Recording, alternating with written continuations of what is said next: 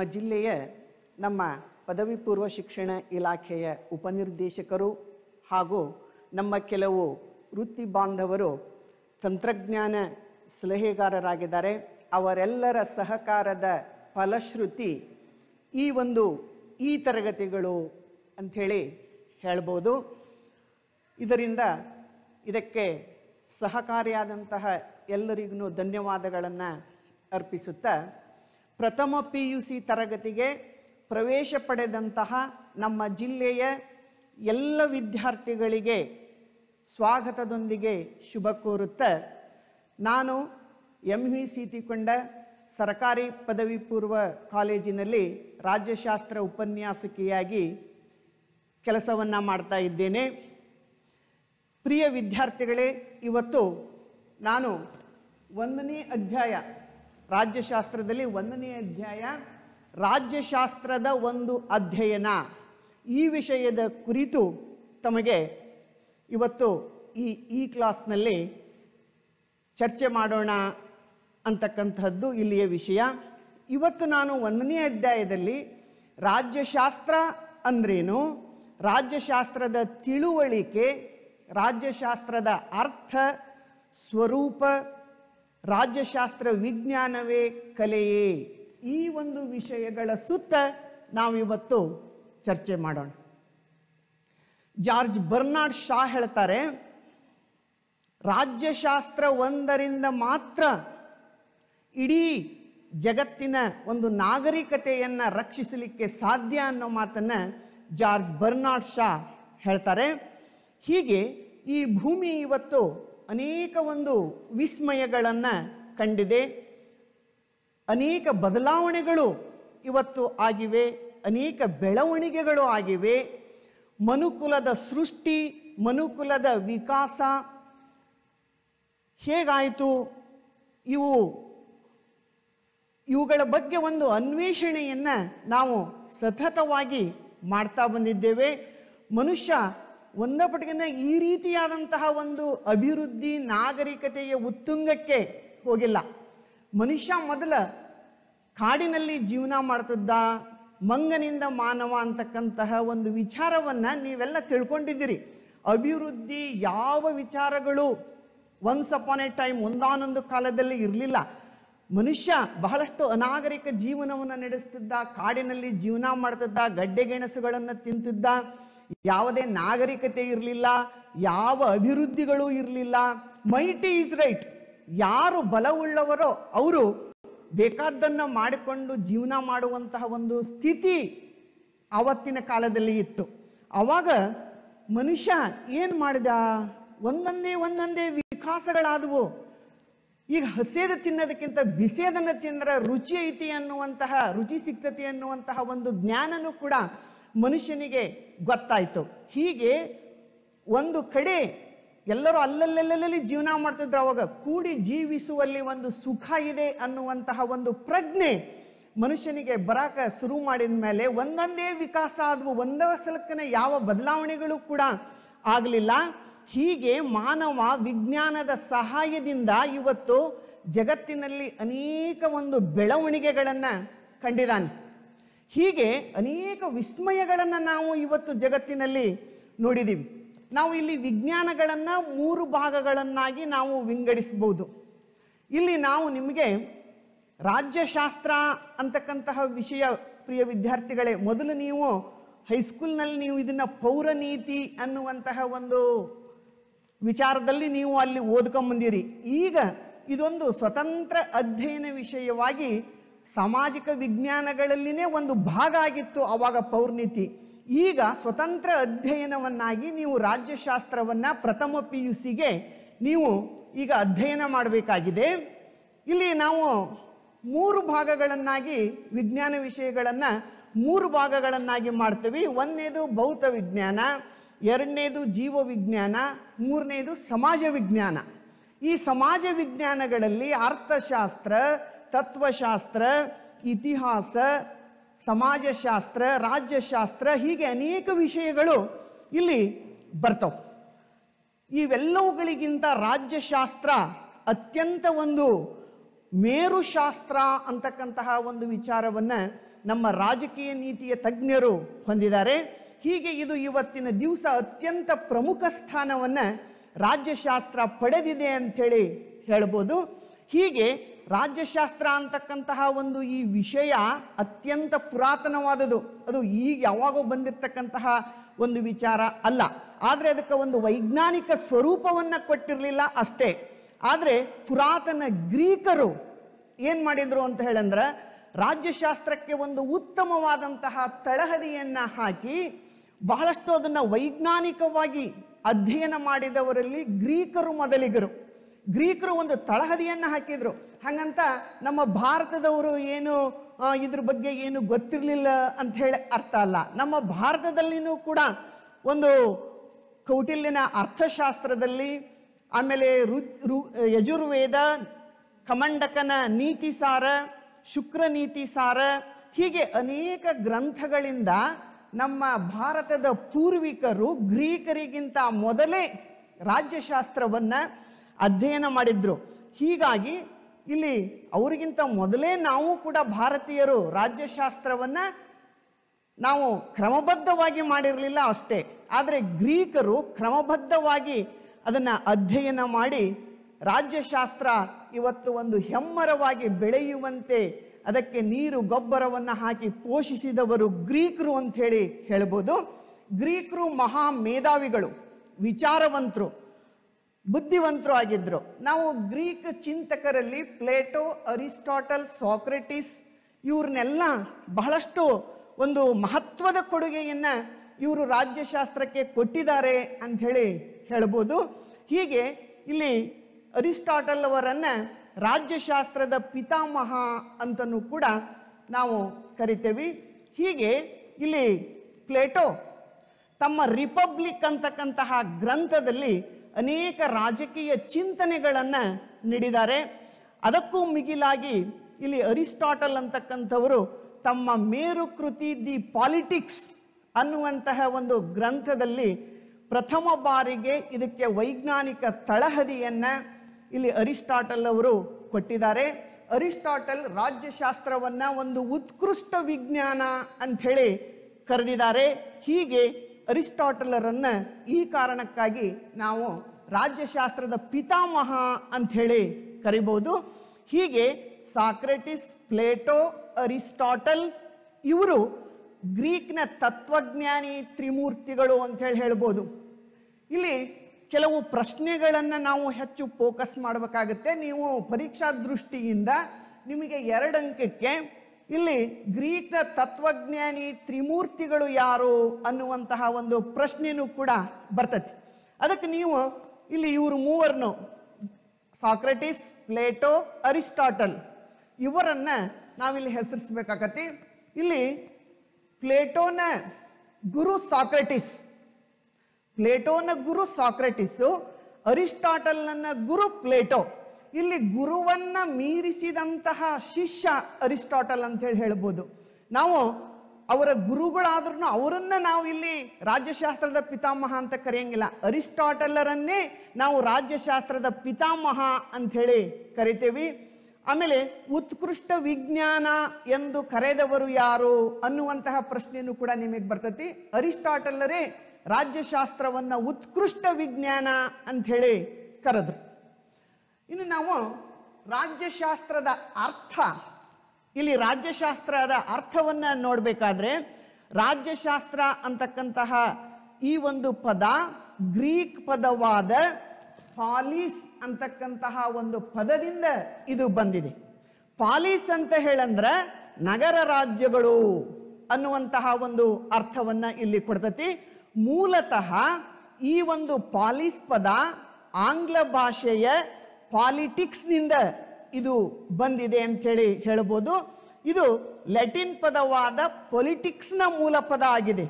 Latin ಪದವಾದ ಪೊಲಿಟಿಕ್ಸಿನ ಮೂಲ ಪದ ಆಗಿದೆ ಅಂಥೇಳಿ ನಾವು ಹೇಳ್ಬೋದು ಇಲ್ಲಿ. ಹೀಗೆ ಗ್ರೀಕ್ ತತ್ವಜ್ಞಾನಿಗಳ ಪ್ರಕಾರ ರಾಜ್ಯಶಾಸ್ತ್ರ, ನಗರ ರಾಜ್ಯಗಳು, ಸಿಟಿ, ಸ್ಟೇಟ್ ಇವುಗಳ ಒಂದು ಪ್ರಾಯೋಗಿಕ ಹಾಗೂ ತಾತ್ವಿಕ ಒಂದು ಅಂಶಗಳ ಆಧಾರವಾಗಿದೆ ಅಂಥೇಳಿ ಹೇಳ್ಬೋದು. ಅರಿಸ್ಟಾಟಲ್ ಅವರು ರಾಜ್ಯಶಾಸ್ತ್ರವನ್ನು ವಿಜ್ಞಾನ ಅನ್ನುವಂತಹ ಒಂದು ಅರ್ಥದಲ್ಲಿ ಇದನ್ನು ಕರೆದ್ರು. ಹೀಗಾಗಿ ಪೆಡ್ರಾಕ್, ಪೆಡ್ರಿಕ್ ಫೋಲಾಕ್ ಅಂತಕ್ಕಂಥವರು ಅರಿಸ್ಟಾಟಲ್ಲರಿಂದಲೇ ರಾಜ್ಯಶಾಸ್ತ್ರ ಉಗಮ ಆಯಿತು ಆರಂಭ ಆಯಿತು ಅನ್ನುವಂತಹ ಮಾತನ್ನು ಪೆಡ್ರಿಕ್ ಪೋಲಾಕ್ ಅವರು ಹೇಳ್ತಾರೆ. ಇಲ್ಲಿ ಪುರಾತನ ಗ್ರೀಕ್ ನಗರ ಗ್ರೀಕ್ ನಗರ ರಾಜ್ಯಗಳು ಆಧುನಿಕ ರಾಜ್ಯಗಳಂತೆ ವಿಶಾಲವಾಗಿರಲಿಲ್ಲ. ಬಹಳಷ್ಟು ಸಣ್ಣವುಗಳಾಗಿದ್ದವು. ಬೆಟ್ಟ, ಗುಡ್ಡ, ಕಣಿವೆ, ಸರೋವರ ಇವುಗಳಿಂದ ಕೂಡಿದಂತಹವುಗಳಾಗಿದ್ದವು. ಇದರಿಂದಾಗಿ ಸಾರಿಗೆ ಮತ್ತು ಸಂಚಾರದ ಕೊರತೆ ಇದ್ದುದರಿಂದ ಒಂದು ಸೀಮಿತ ಚೌಕಟ್ಟಿನಲ್ಲಿ ತಮ್ಮ ಕೆಲಸಗಳನ್ನು ಅವರು ನಿಭಾಯಿಸಿಕೊಂಡು ಹೋಗ್ತಿದ್ರು ಅಂತ ಹೇಳಿ ಹೇಳ್ಬೋದು. ಇಲ್ಲಿ ನಗರ ರಾಜ್ಯಗಳೆಂದರೆ ಮುಖ್ಯವಾಗಿ ಅಥೆನ್ಸ್ ಮತ್ತು ಸ್ಪಾರ್ಟಾ. ಇವೆರಡು ಗ್ರೀಕ್ನ ನಗರ ರಾಜ್ಯಗಳು ಅಂಥೇಳಿ ಹೇಳ್ಬೋದು. ಈ ಒಂದು ನಗರ ರಾಜ್ಯಗಳಲ್ಲಿ ಪ್ರತ್ಯಕ್ಷ ಪ್ರಜಾಪ್ರಭುತ್ವ ಅಸ್ತಿತ್ವದಲ್ಲಿತ್ತು ಅಂಥೇಳಿ ಹೇಳ್ಬೋದು. ಹೀಗೆ ಇಲ್ಲಿ ಕಾಲಾಂತರದಲ್ಲಿ ಜನ ಪರಸ್ಪರ ಸಂಸ್ಕೃತಿ ಮತ್ತು ಅವರ ಒಂದು ಪರಸ್ಪರ ಸೌಹಾರ್ದತೆ ಇವೆಲ್ಲವುಗಳಿಂದ ಎಲ್ಲರೂ ನಾವೆಲ್ಲರೂ ಒಂದು ಅನ್ನುವಂತಹ ಒಂದು ಏಕತಾ ಭಾವನೆ ಮೂಡಿ ನಗರ ರಾಜ್ಯಗಳು ನಂತರ ರಾಜ್ಯಗಳಾಗಿ ಉಗಮವಾದವು ಅಂಥೇಳಿ ಹೇಳ್ಬೋದು. ಹೀಗೆ ಈ ಒಂದು ನಗರ ರಾಜ್ಯಗಳ ಆಡಳಿತವನ್ನು ಸರಿಯಾಗಿ ಮಾಡಿಕೊಂಡು ಹೋಗುವಂತಹದ್ದನ್ನೇ ಇಲ್ಲಿ ಪಾಲಿಟಿಕ್ಸ್ ಅಂಥೇಳಿ ಅವಾಗ ಗ್ರೀಕರು ಕರಿತಿದ್ರು ಅಂಥೇಳಿ ಹೇಳ್ಬೋದು. ಹೀಗೆ ರಾಜ್ಯಶಾಸ್ತ್ರ ಅಂತಕ್ಕಂತಹ ಪದವನ್ನು ವಿವಿಧ ಚಿಂತಕರು ವಿವಿಧ ರೀತಿಯಲ್ಲಿ ಕರೆದಿದ್ದಾರೆ.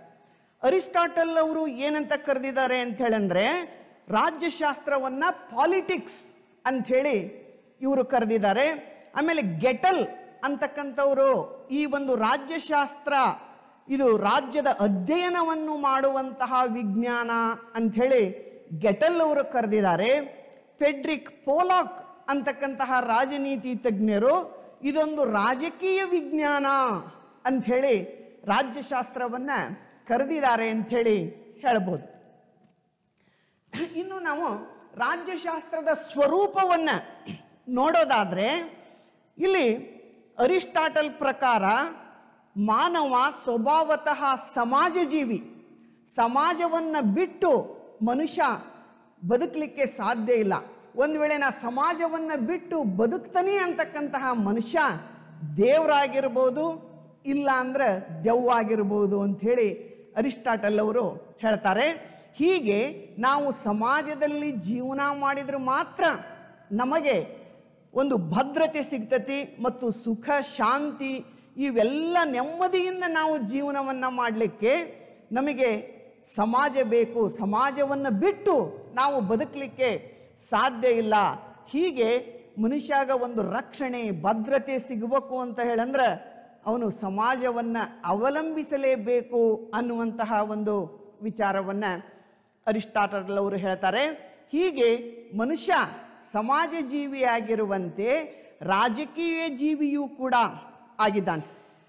ಮನುಷ್ಯ ಒಂದು ಸಮಾಜದಲ್ಲಿ ಸಾಂಘಿಕ ಜೀವನವನ್ನು ನಡೆಸುವಾಗ ಕಲಹಗಳು ಉದ್ಭವಿಸುವುದು ಸಹಜ. ಕಲಹ ಇಲ್ಲದಂಗೆ ಮನುಷ್ಯ ಬದುಕ್ತಾನೆ ಅನ್ನೋದು ಇಲ್ಲಿ ಸುಳ್ಳು. ಹೀಗೆ ಈ ಒಂದು ಕಲಹಗಳನ್ನು ನಿಗ್ರಹಿಸಿ ಮನುಷ್ಯನ ಒಂದು ವರ್ತನೆಯನ್ನು ನಿಯಂತ್ರಣದಲ್ಲಿಟ್ಟು ಸಮಾಜದಲ್ಲಿ ಶಾಂತಿ ಮತ್ತು ಸುವ್ಯವಸ್ಥೆ ಇರಬೇಕಾದ್ರೆ ಕಾನೂನು ಅಂತಕ್ಕಂತಹ ಒಂದು ಕಟ್ಟಳೆ ಮನುಷ್ಯನಿಗೆ ಬೇಕಾಗ್ತಾ ಇದೆ. ಹೀಗೆ ಈ ಒಂದು ಸರಕಾರ ಅಂತಕ್ಕಂತಹ ಒಂದು ವ್ಯವಸ್ಥೆಯಿಂದ ಮಾತ್ರ ಸರ್ಕಾರ, ಕಾಯ್ದೆ, ಕಾನೂನು ಇವುಗಳ ಒಂದು ವ್ಯವಸ್ಥೆಯಿಂದ ಮಾತ್ರ ಮನುಷ್ಯನನ್ನ ನಿಯಂತ್ರಣದಲ್ಲಿ ಇಡಲಿಕ್ಕೆ ಸಾಧ್ಯ ಆಗ್ತಾ ಇದೆ. ಹೀಗೆ ಇದು ಸರ್ಕಾರ ಅಂತಕ್ಕಂತಹದ್ದು ರಾಜ್ಯದ ಒಂದು ಮೂಲಾಂಶಗಳಲ್ಲಿ ಮುಖ್ಯವಾದಂತಹ ಒಂದು ಅಂಶ ಆಗಿದೆ ಅಂಥೇಳಿ ಹೇಳ್ಬೋದು. ಹೀಗೆ ಇದು ರಾಜ್ಯದ ಹಿತಾಸಕ್ತಿಗಳನ್ನು ಕಾಪಾಡುತ್ತದೆ. ಮತ್ತು ರಾಜ್ಯ ಸರಕಾರ ಮತ್ತು ಮಾನವನ ರಾಜಕೀಯ ಚಟುವಟಿಕೆಗಳನ್ನು ಕುರಿತು ಅಧ್ಯಯನ ಮಾಡುವುದೇ ಇಲ್ಲಿ ರಾಜ್ಯಶಾಸ್ತ್ರ ಅಂಥೇಳಿ ಹೇಳ್ಬೋದು. ನಾವು ಇವತ್ತು ನಾವು ಕಾಯ್ದೆ, ಕಾನೂನು, ನಮ್ಮ ರಾಜ್ಯ, ಸರ್ಕಾರ ಇವೆಲ್ಲವುಗಳ ಅಧ್ಯಯನವನ್ನು ನಾವು ರಾಜ್ಯಶಾಸ್ತ್ರದಲ್ಲಿ ಮಾಡ್ತೀವಿ. ಹೀಗೆ ಈ ರಾಜ್ಯಶಾಸ್ತ್ರ ಅಂತಕ್ಕಂತಹದ್ದು ಇತಿಹಾಸದಷ್ಟು ಪುರಾತನವಾದುದು ಅಂಥೇಳಿ ಹೇಳ್ಬೋದು. ಈ ಒಂದು ಅಧ್ಯಯನಕ್ಕೆ ಒಂದು ನೂತನ ಆಯಾಮ ದೊರೆತದ್ದು ಇಪ್ಪತ್ತನೇ ಶತಮಾನದಲ್ಲಿ ಅಂಥೇಳಿ ಹೇಳ್ಬೋದು. ಹೀಗೆ ಈ ಪುರಾತನ ವ್ಯವಸ್ಥೆಯಲ್ಲಿ ಈ ರಾಜ್ಯಶಾಸ್ತ್ರ ಒಂದು ಸಂಕೀರ್ಣವಾದ ವ್ಯವಸ್ಥೆಯಿಂದ ಕೂಡಿತ್ತು. ಕೆಲವೇ ಜನರು ಇದರಲ್ಲಿ ಪಾಲ್ಗೊಳ್ತಿದ್ರು. ಎಲ್ಲರಿಗೂ ಇಲ್ಲಿ ಪಾಲ್ಗೊಳ್ಳಲಿಕ್ಕೆ ಅವಾಗ ಅವಕಾಶ ಇರಲಿಲ್ಲ. ಕೆಲವೇ ಜನರಿಗೆ ಅಂದರೆ ಕೆಲವು ರಾಜಕಾರಣಿಗಳು ಮತ್ತು ದಾರ್ಶನಿಕರು, ರಾಜ ಮಹಾರಾಜರು ಹೀಗೆ ದೊಡ್ಡ ದೊಡ್ಡ ಒಂದು ಕೆಲವೇ ಜನರಿಗೆ ಇಲ್ಲಿ ಸೀಮಿತವಾಗಿತ್ತು. ಆದರೆ ಇವತ್ತು ಎಲ್ಲರೂ ರಾಜಕೀಯದಲ್ಲಿ ಪ್ರತ್ಯಕ್ಷವಾಗಿ, ಪರೋಕ್ಷವಾಗಿ ಪಾಲ್ಗೊಳ್ಳುವಂತಹ ಒಂದು ವ್ಯವಸ್ಥೆ ಇದೆ.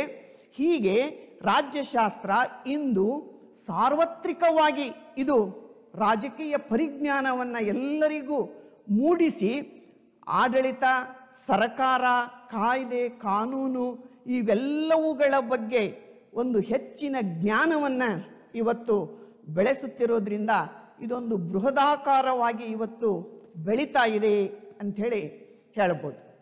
ಇನ್ನು ರಾಜ್ಯಶಾಸ್ತ್ರ ವಿಜ್ಞಾನವೇ ಕಲೆಯೇ ಅನ್ನುವಂತಹ ಒಂದು ಪ್ರಶ್ನೆಯೂ ಕೂಡ ಇಲ್ಲಿ ಉದ್ಭವ ಆಕತಿ ಕೆಲವರು ರಾಜ್ಯಶಾಸ್ತ್ರ ವಿಜ್ಞಾನ ಅಂತ ಹೇಳ್ತಾರ. ಕೆಲವು ರಾಜನೀತಿ ತಜ್ಞರು, ಇದು ವಿಜ್ಞಾನ ಅಲ್ಲ ಅನ್ನುವಂತಹ ವಾದವನ್ನು ಇಲ್ಲಿ ಮಂಡಿಸ್ತಾರೆ. ಇಲ್ಲಿ ರಾಜ್ಯಶಾಸ್ತ್ರ ವಿಷಯಕ್ಕೆ ಸಂಬಂಧಿಸಿದಂತೆ ಇದು ವಿಜ್ಞಾನ ಅಂಥೇಳಿ ಹೇಳುವಂತಹವರ ಪಟ್ಟಿಯಲ್ಲಿ Aristotle Bodin Hobbes Machiavelli Montesquieu ಇಂತಹ ಒಂದು ರಾಜನೀತಿ ತಜ್ಞರು ಇವರೆಲ್ಲ ಇದು ವಿಜ್ಞಾನ ಅಂತ ಹೇಳ್ತಾರೆ.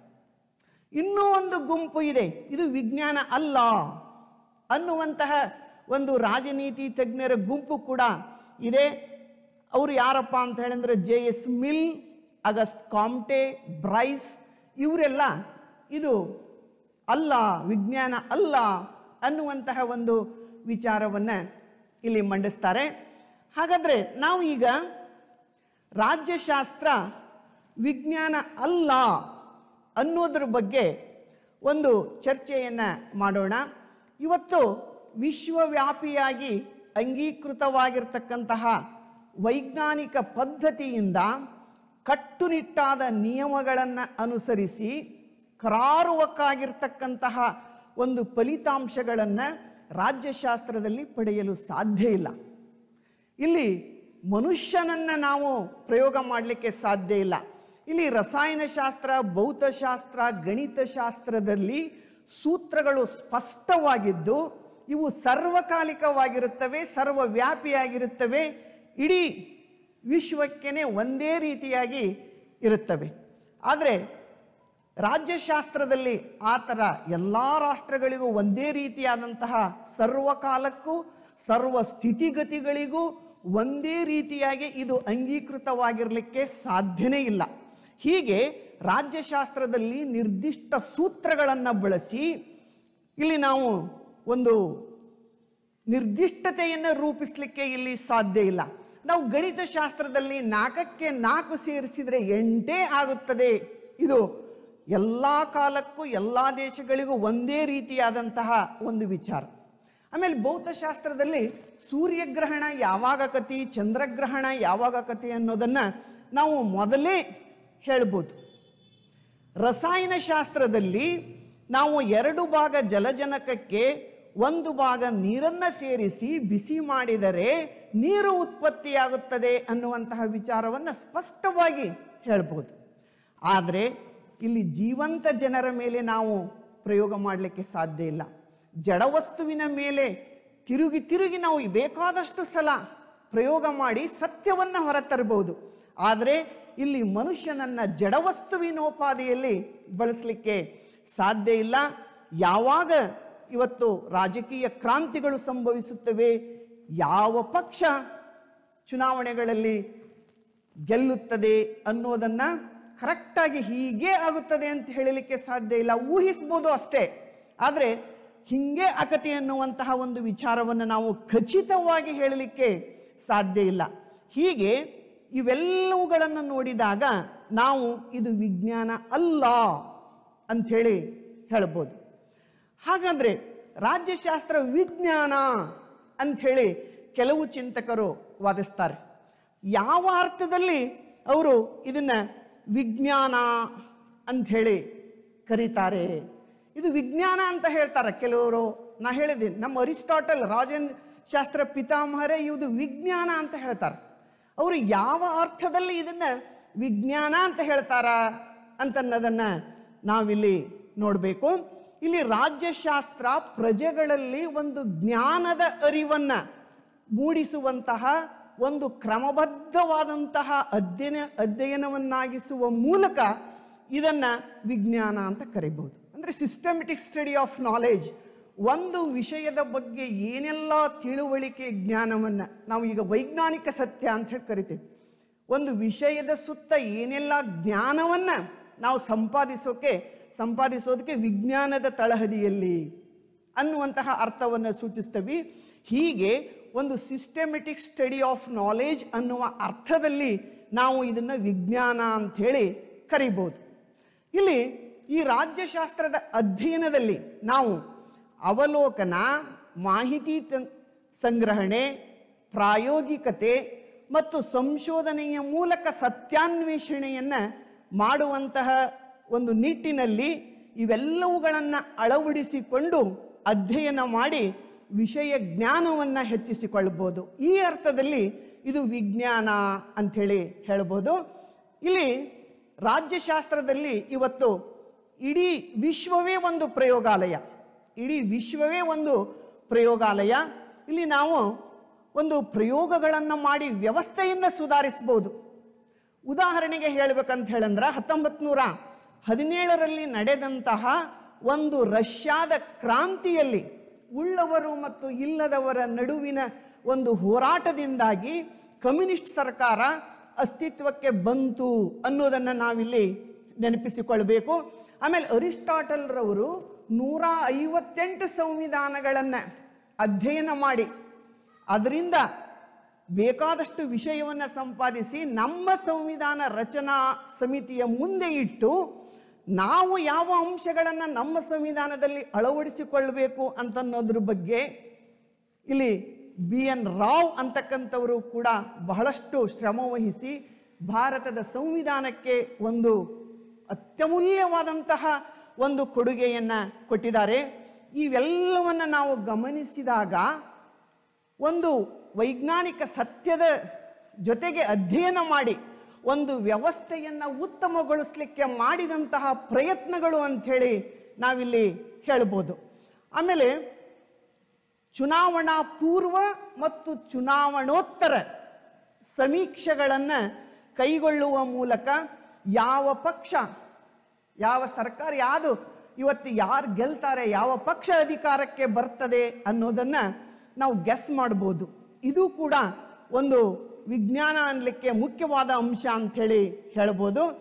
ಇಲ್ಲಿ ಆಡಳಿತವನ್ನು ನಡೆಸ್ತಕ್ಕಂತಹ ಒಂದು ಸರ್ಕಾರದ ಧೋರಣೆ, ಇಲ್ಲಿ ಆಮೇಲೆ ಆ ಸರ್ಕಾರ ಕಾರ್ಯಕ್ರಮಗಳನ್ನು ಯಾವ ರೀತಿಯಾಗಿ ಅನುಷ್ಠಾನಕ್ಕೆ ತರುತ್ತದೆ ಅನ್ನೋದರ ಮೇಲೆ ಒಂದು ಸಾರ್ವಜನಿಕ ಅಭಿಪ್ರಾಯ ವ್ಯಕ್ತವಾಗ್ತಾ ಇದೆ ಪಬ್ಲಿಕ್ ಒಪಿನಿಯನ್ ಇದು ವ್ಯಕ್ತವಾಗತಿ ಸರ್ಕಾರದ ನೀತಿಗಳೇನು, ಧೋರಣೆಗಳೇನು ಏನು ಕಾರ್ಯಕ್ರಮ ಅವ್ರು ಹಾಕೊಂಡಿದಾರಲ್ಲ ಅವನ್ನ ಯಾವ ರೀತಿ ಅನುಷ್ಠಾನಕ್ಕೆ ತರ್ತಾರೆ, ಇದೆಲ್ಲದರ ಮೇಲೆ ಅವರ ಮುಂದಿನ ಚುನಾವಣೆ ನಿಂತಿರುತ್ತೆ ಅಂಥೇಳಿ ಹೇಳ್ಬೋದು.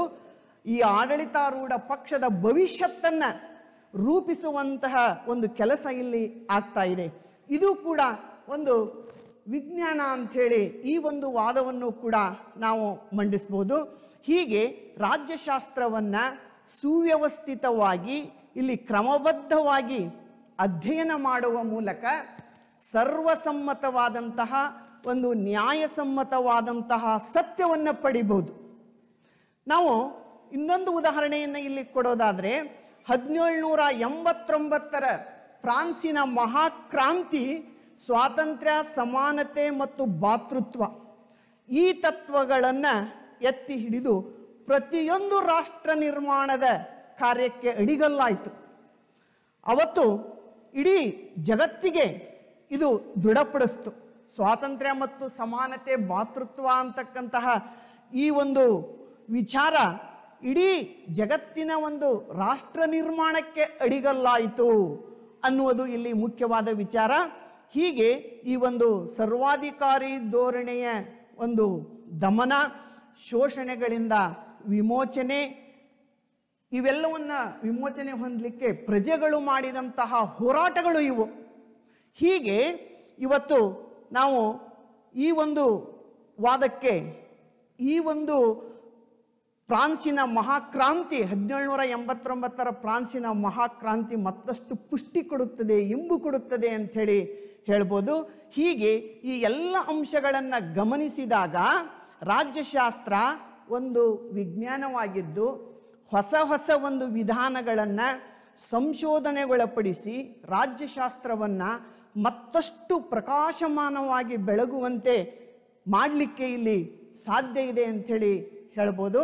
ಆಮೇಲೆ ಇದು ಕಲೆನೂ ಅಂಥೇಳಿ ನಾವು ಹೇಳ್ಬೋದು. ವಿಜ್ಞಾನ, ಕಲೆ, ಒಟ್ಟಿನಲ್ಲಿ ರಾಜ್ಯಶಾಸ್ತ್ರ, ವಿಜ್ಞಾನ ಮತ್ತು ಕಲೆ ಎರಡೂ ಆಗಿದೆ ಅಂಥೇಳಿ ಹೇಳ್ಬೋದು. ಒಬ್ಬ ಕಲಾವಿದ ಹೇಗೆ ತನ್ನ ನಿರಂತರ ಸಾಧನೆಯಿಂದ ಯಶಸ್ವಿಯಾಗುತ್ತಾನೋ ಹಾಗೆ ಇಲ್ಲಿ ರಾಜ್ಯಶಾಸ್ತ್ರದ ಅಧ್ಯಯನದಲ್ಲಿ ಬರ್ತಕ್ಕಂತಹ ಒಂದು ಸಮರ್ಥ ಆಡಳಿತ ನಿರ್ವಹಣೆ, ಯಶಸ್ವಿ ನಾಯಕತ್ವ, ಕಲ್ಯಾಣ ರಾಜ್ಯ, ಆಧುನಿಕ ರಾಜ್ಯದ ಪರಿಕಲ್ಪನೆ ಇವೆಲ್ಲವುಗಳು ಕೂಡ ರಾಜ್ಯಶಾಸ್ತ್ರವನ್ನು ಕಲೆಯನ್ನಾಗಿಸಿವೆ ಅಂತೇಳಿ ಹೇಳ್ಬೋದು. ಒಬ್ಬ ರಾಜಕಾರಣಿ ಇವತ್ತು ಅವನು ಶಿಕ್ಷಣವನ್ನು ಹೊಂದದೇ ಇದ್ರೂ ಕೂಡ ತನ್ನ ದಿನನಿತ್ಯದ ಒಂದು ಆಡಳಿತದಲ್ಲಿ ಅವನು ಪಳಗಿ ಒಳ್ಳೆಯ ವಾಗ್ಮಿಯಾಗಿ, ಒಳ್ಳೆಯ ಒಂದು ರಾಜಕಾರಣಿಯಾಗಿ ಎತ್ತರಕ್ಕೆ ಬೆಳಿಬೋದು. ಅದು ಅವನಲ್ಲಿರ್ತಕ್ಕಂತಹ ಕಲೆ. ಹೀಗೆ ರಾಜ್ಯಶಾಸ್ತ್ರವನ್ನು ನಾವು ವಿಜ್ಞಾನ ಮತ್ತು ಕಲೆ ಎರಡೂ ಅಂಥೇಳಿ ಒಪ್ಪಿಕೊಳ್ಳಬಹುದು.